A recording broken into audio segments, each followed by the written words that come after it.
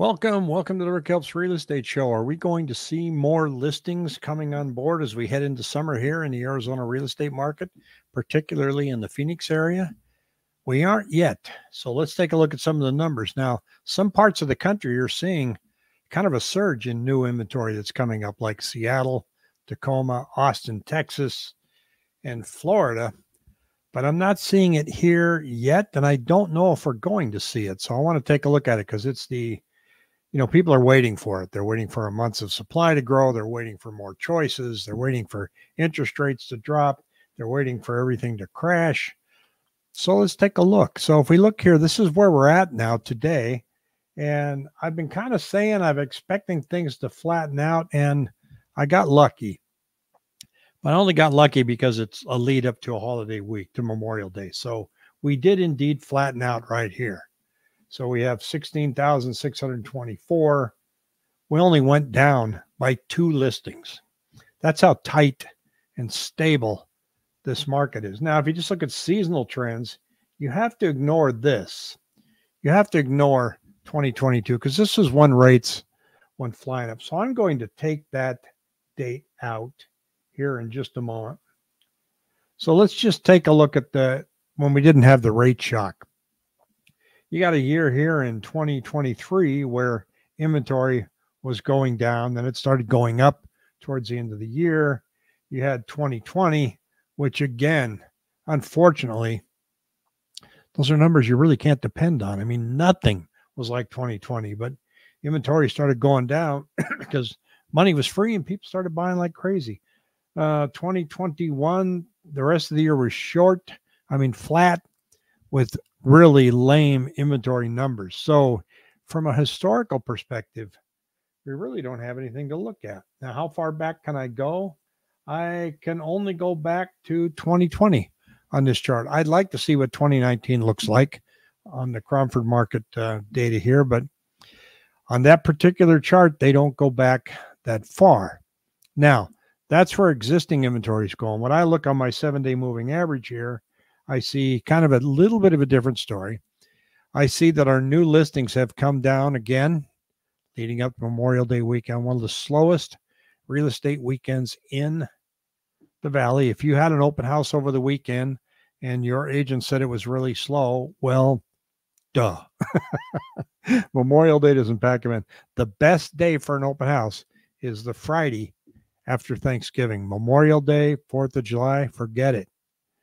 People are not out looking for homes. Now, our new contracts dip down, new listings dip down, but the difference between the two, the contract rate has gone up to 80%. That's a healthy market.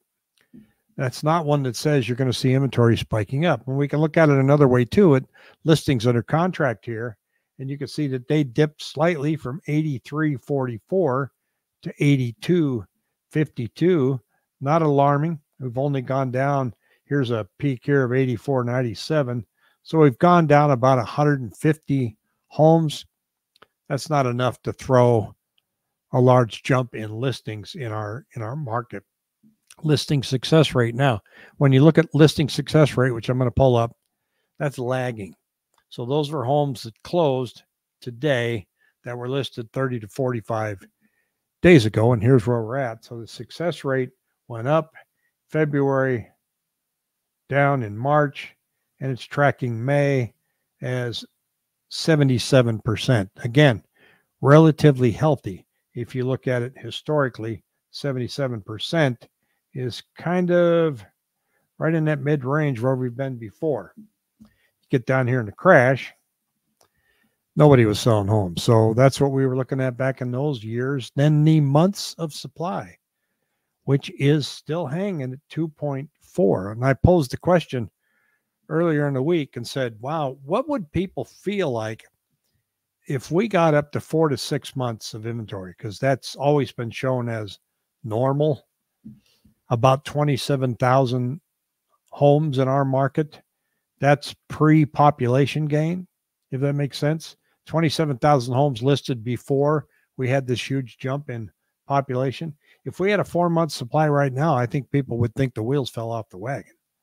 I don't think we'd view it as normal. You're already hearing people say, wow, there's a lot of homes for sale on my street. What, two? there just aren't yet, folks. There are in certain areas.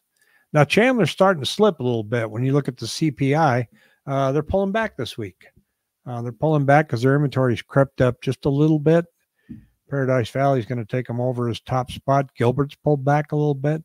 So when it comes to that index of supply and demand, it's definitely going this way, but ever, ever so slowly.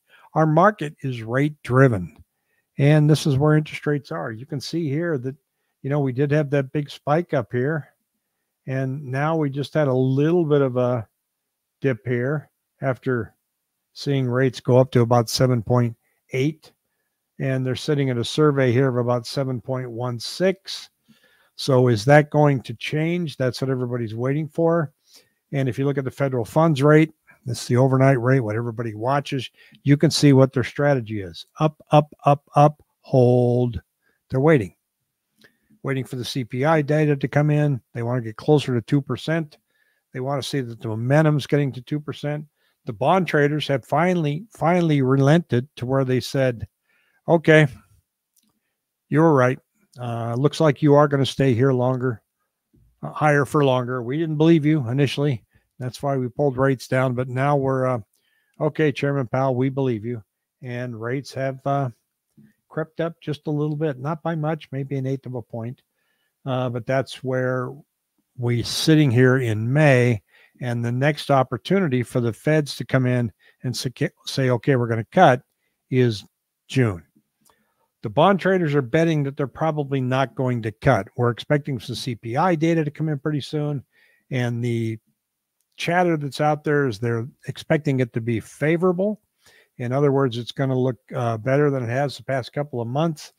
I don't think that's going to be enough for the central bank to say, okay, we're off to the races. Let's go. Let's cut based on everything they've been saying.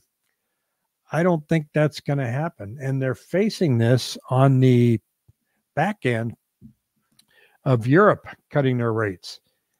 European central banks ready to start cutting interest rates, said a chief economist. So if Europe cuts interest rates, are we going to be right behind them? Interest rates are a very complicated mechanism in our market. And uh, who knows? But you got all these moving pieces. Now, the higher our interest rates up, the more interest we have on our debt as a country. That's another thing that they're looking at. And that's getting pretty darn ugly we can sit there and stroll through that for the next 10, 20 years. It'll be talked about, and nobody, I doubt, will do anything about it. The other thing we're looking at here is this is from Redfin, the top 10 areas people are moving to. Check and see who's number one here. Phoenix, our net inflow from February to April is 6,200 people. Where are they coming from? They're coming from Washington, not surprisingly, California, Illinois, why Colorado, that's interesting. More than 1,000 people were searching to move out of Colorado state versus moving into the state. That's what these numbers are. They're search numbers. Doesn't necessarily mean they've moved, uh, but here are the ones that down here that shows that they they have moved into Phoenix, and it shows you where they're coming from. Isn't that interesting? When you really, when you think about it, Chicago makes sense. A lot of people are here from Chicago, Seattle, Portland, come down here, nicer weather. Kind of surprising that more than 1,400 people are searching to move from Phoenix from Dallas. Probably real estate taxes are driving that and jobs. Real estate taxes in Dallas are really expensive. Now, I don't think they have a state income tax, so you got to weigh that too. We have a lot of people coming here from the San Francisco area and, of course, Los Angeles and San Diego but it looks like the most are coming from Seattle. So when you look at our inventory and people are moving here, that probably has to slow down a little bit before you see inventory start to climb.